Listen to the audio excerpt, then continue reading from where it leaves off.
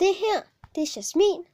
Hun er forelsket i Rasmus og søster med Sofie. Det her, det er Sofie. Hun er forelsket i Ib og søster med Jasmin.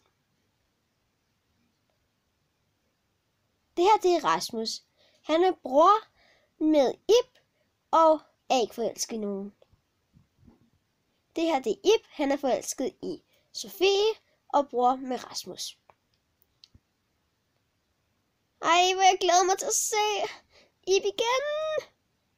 Kommer du? Ja, ja, ja. Jeg vil have nogle blomster. Måske skal jeg ringe til Rasmus. Ja, det er en god idé. Men Rasmus, øh, jeg gør det. Hej Rasmus, øh, jeg glemte noget at starte med. Okay, kom. øh, tak. Jeg kommer. Øh, hej, hej, hej. Øh, vi ses måske. Hej, hej, hej, hej. Nu kommer jeg hjem til ham. Åh, det er så spændende.